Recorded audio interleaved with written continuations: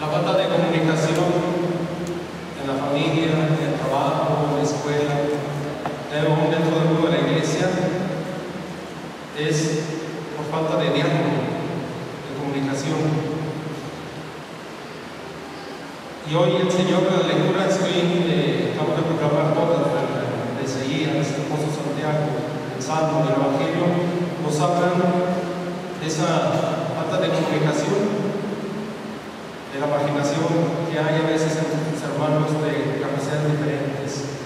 Y sobre todo, de, de muchas veces nosotros somos sordos a la palabra de Dios y el hablar de Dios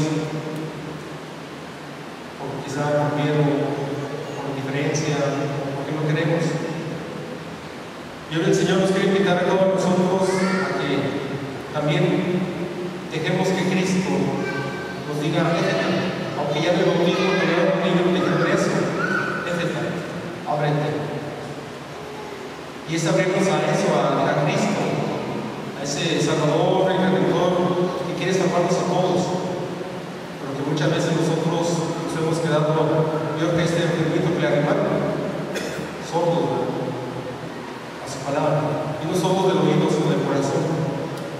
Que es lo más triste porque el corazón es donde nosotros debemos escuchar a Dios. Escuchamos cómo muchas veces nosotros marginamos a los más pobres, los más necesitados, ese amor, esa misericordia, o porque tienen esa discapacidad diferente, o porque son pobres, o porque están enfermos, o porque a lo mejor eh, no son de nuestra igual condición, sabiendo que todos somos de la dignidad, que somos hijos de Dios.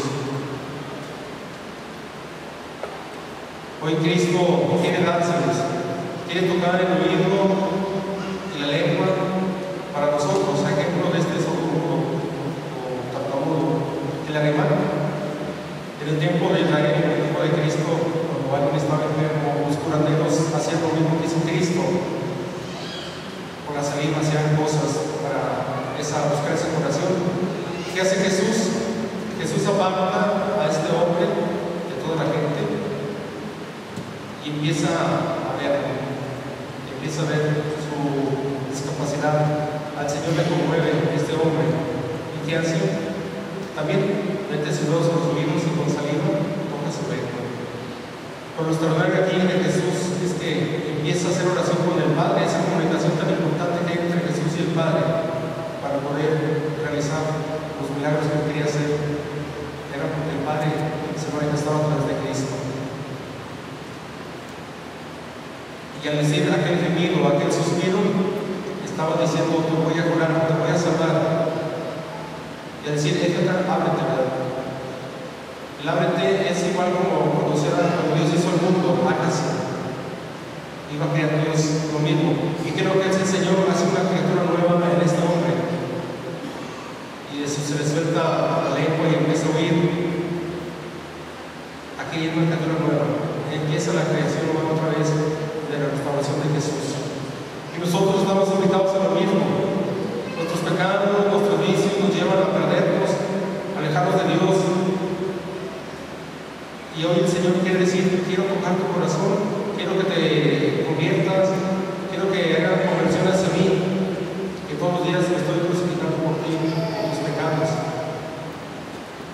Quiero formar una nueva criatura en el nombre del Señor. Y el Señor nos invita a todos. En esta misa tenemos otros hermanos que tengan esa capacidad diferente a nosotros, pero no por eso dejan de ser hijos de Dios o tienen esa como nosotros, si nos comunicar. Y eso es lo bonito, que comparten, que nosotros compartimos el amor tan grande de Cristo con todos nosotros. Fíjense, a lo mejor a lo mejor ejemplo para nosotros que estamos escribiendo. Miren con ese amor a estar con Jesús. Ojalá que también nosotros, los que subimos y hablamos, estemos con ese amor, en ese Cristo que quiere salvarnos. Pero que estamos sordos a su palabra y modos a ese